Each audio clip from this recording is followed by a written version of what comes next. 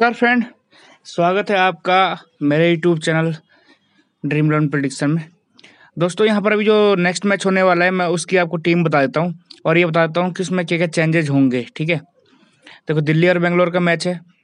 यहाँ पर मैं आपको बता देता हूँ कि सेफ़ टीम कौन सी ठीक रहेगी, कौन से प्लेयर खेलेंगे।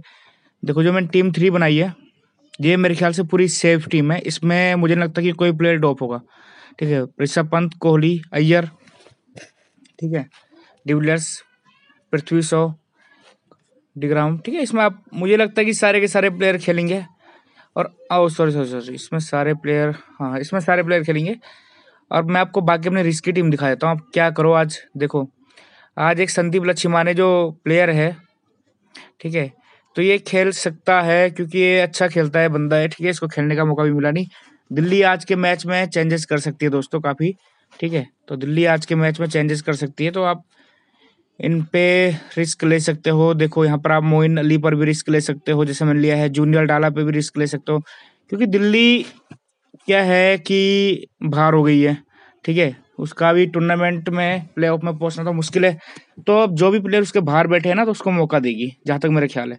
जैसे मेरे ख्याल से जिनको मौका खेलने का नहीं जूनियर डाला को मौका नहीं मिला ठीक है? संदीप जो नेपाल का प्लेयर है अच्छा मतलब स्पिनर है तो उसका खेलने का चांसेस है तो आप उस पर रिस्क ले सकते हैं।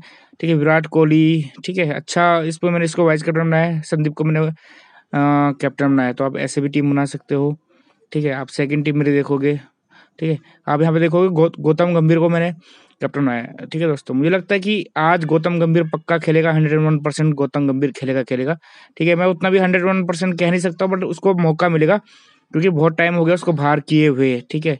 और इसके साथ मैंने संदीप को मैंने वाइस कैप्टन बनाया है। इसे मैंने मोइन अली को भी खिला दिया, ठीक है? तो मोइन अली का भी आज खेलने का चांस है, आप ये मत समझो कि मोइन अली नहीं खेलेगा। आज जो भी मतलब मैकलम भी बाहर बैठ सकता है, कुछ भी हो सकता है मतलब कुछ भी कह नहीं सकता, क्योंकि दोनों टीमें बाहर हो गई है। और शायद आरसीबी को भी सारे के सारे मैच जीतने हैं अपने। तो कुछ अच्छा चेंजेस करें मेरे ख्याल से, या सुंदर को भी अंदर टीम में ला सकती है, ठीक है? आप तीसरी टीम मेरी देख लो।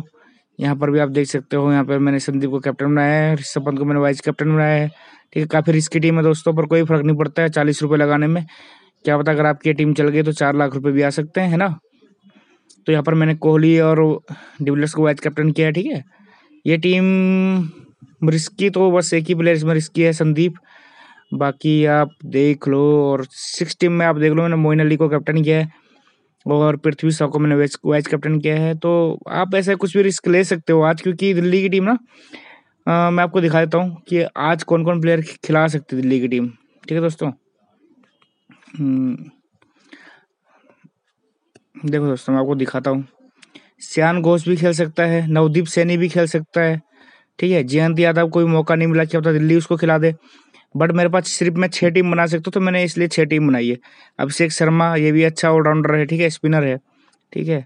ये अंडर नाइनटीन में खेला था इस बार अच्छा प्लेयर है। आप इसको भी खिला सकते हो, है ना? और बाकी जिनको मौका मिल गया, उनको मत रखना, ठीक है। जैसे अनिरुद्ध जोशी, ठीक है, बेंगलोर का प्लेयर है अच्छा खेलता है, ठीक है। ये मंजोत मंजोत कालरा, ये भी खेल सकता है। तो ये गुरकृत सिंह मान, पवन देश पांडे बहुत ही अच्छे अच्छे प्लेयर हैं।